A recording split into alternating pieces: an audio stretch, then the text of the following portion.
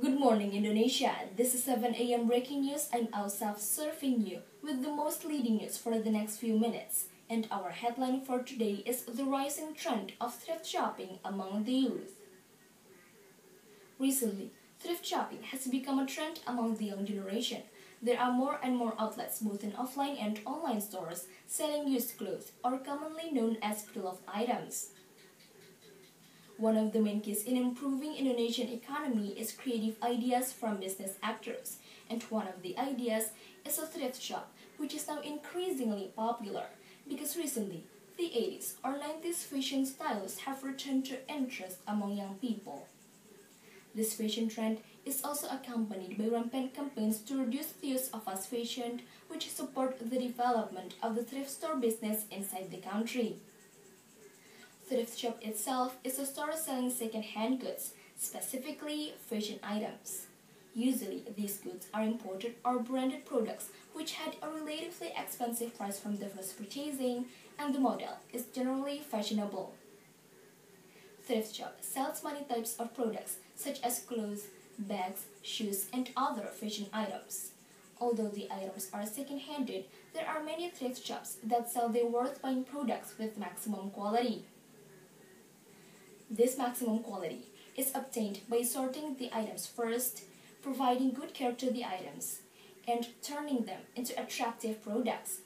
Hygiene is also one of the most important aspects that is considered by the sellers.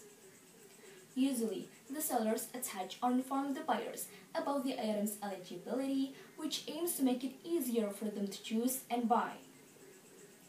Apart from being unique, these goods also have very diverse models. Those who want to look different will usually choose second-hand items that are rarely found in the market. In addition, the price of these pre-loved goods is also very affordable when compared to buying a new one which will spend a larger budget.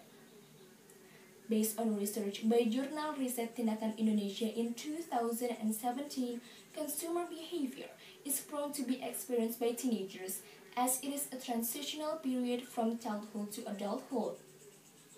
Youth people in productive age range also tend to have a high level of consumerism, especially in fashion field. Hence, through this target market, thrift shop is expected to last in the long term.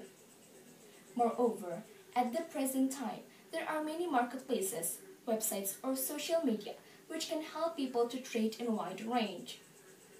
Supported by technological advances and online shopping systems, thrift shops are able to sell their pre-loved products through online platforms, such as Instagram, Shopee, Facebook, and many more. Even at this moment, young people's interest in thrift shopping is at its peak and this trend is growing rapidly. Thus, thrift shop can be a great choice for people to start a new business.